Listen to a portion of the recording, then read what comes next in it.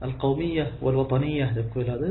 Qavmfarastlik va vatanfarastlik shu narsani kufrligini e, e, ya'ni kufrlik sabablari qaysilar degan savol ekan. Javobi shuki qavmiya vataniya degan narsa qavmfarast va demak e, nima deydi? Shu vatanparastlik bu narsalar ikkalasi ham kufr hisoblanadi. Nimaga deganda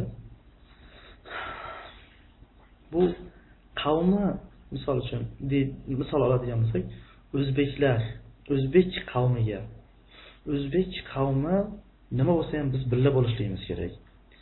Kofir bo'ladimi ollohni dushmani bo'ladimi kitobi sunnatga qarshi musulmonlar zarariga kofirlar tomonida ishlaydigan shunaqa murtad bo'ladimi?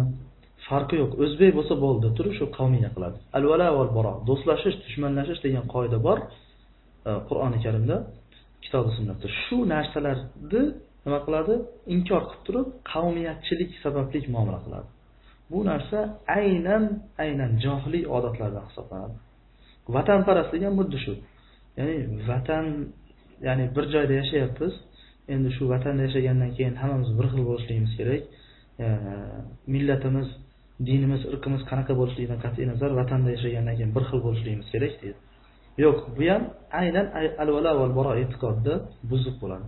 Bu vatanparast qavmparast degan narsalar hammasi johiliy odatlardan hisoblanadi. Shuning uchun bizni yaxshi ko'rishligimiz va yomon ko'rishligimiz olloh va rasuli yaxshi ko'ringlar deganda biz yaxshi ko'ramiz. Olloh va rasuli yomon ko'ringlar deganda yomon ko'ramiz.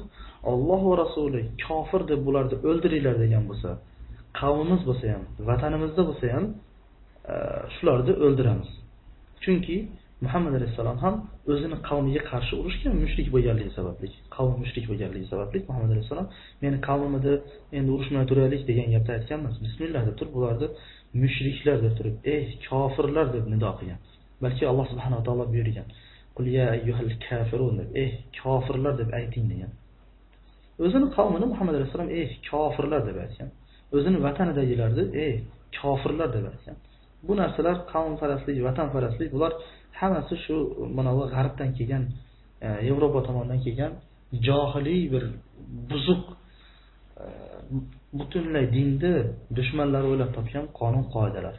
Shuning uchun alloh va rasulini yaxshi ko'ringlar deganda yaxshi ko'ramiz alloh va rasuli yomon ko'ringlar deganda yomon ko'ramiz alloh va rasuli kofir murtadlar allohni dushmanlari deb turib bularni o'ldiringlar degan bo'lsa kim bo'lishidan qat'iy nazar vatanimizda bo'ladimi qavmimizdan bo'ladimi qabilamizdan bo'ladimi? Kim bo'lishidan qat'iy nazar bularni biz alloh va rasuliga itoat qilgan holatda bularga qarshi turishligimiz biz uchun vojib bo'ladi.